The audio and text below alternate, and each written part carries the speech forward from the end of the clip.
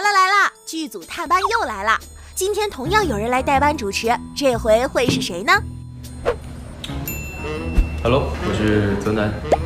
当我穿上这身衣服的时候，我就是咱优传媒策划部的红辉。今天我们给红辉布置了一个任务，在片场找三位优传媒的女同事进行采访，其中必须包括女主滕小小。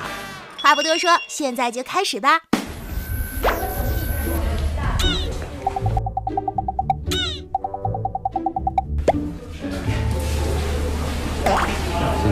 了滕小小。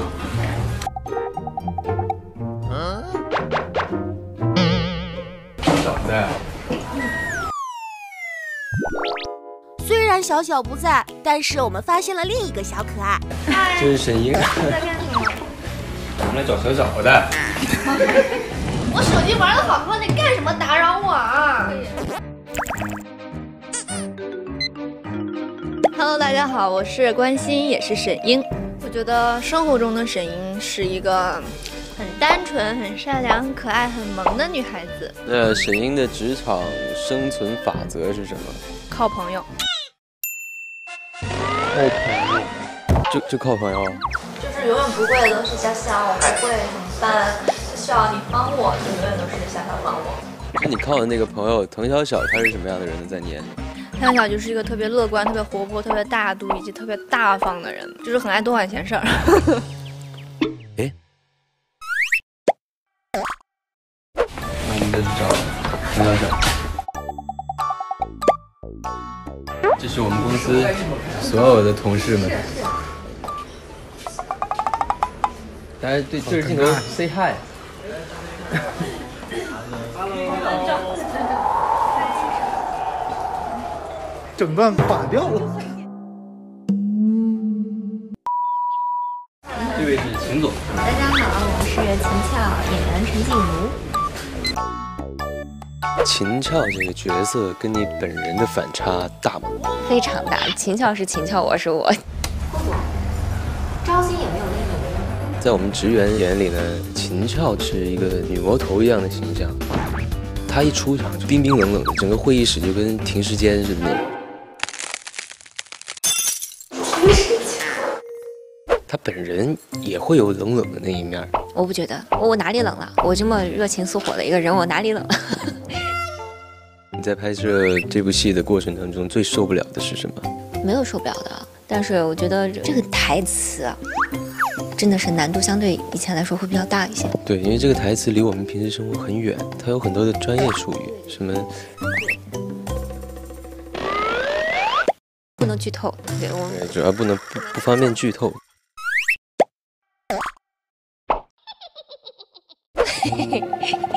我想问你，有两个戏让你选择，第一个戏人畜无害的男一好，还是你想演一个那种坏透了的魔头类的男二好？我觉得我本人就已经挺人畜无害的了，我要再演个人畜无害，其实对我来说没有特别大的塑造欲望吧，可能。你说上学的时候吧，就男生因为他喜欢这女生，他没事喜欢就在后面。拽一下她的那个马尾，然后那你说红辉上班欺负女同事是因为什么呢？你为什么要这样做呢？你这是要干嘛呢？你干嘛要欺负人家？你暗恋人家，对不对？你是不是暗恋？那你这么说，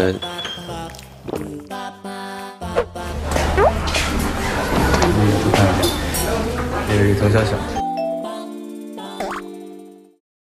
大家好，我是周雨彤，也是滕小小。红辉是不是喜欢滕小小？哎，一般男孩可能是这样子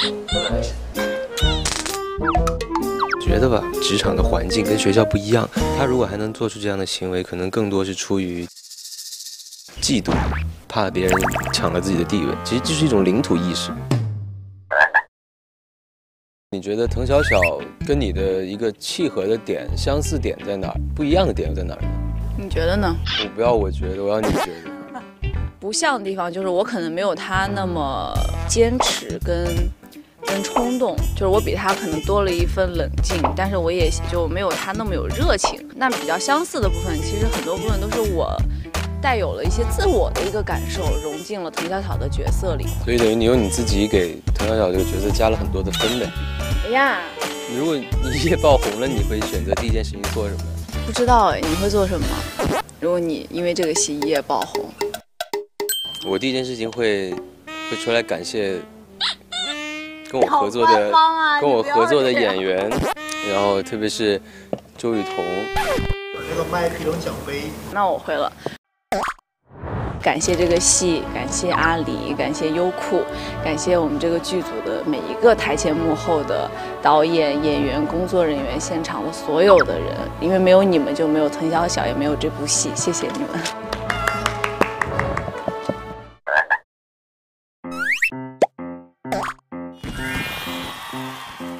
当时我第一次采访，你觉得我完全看不出来。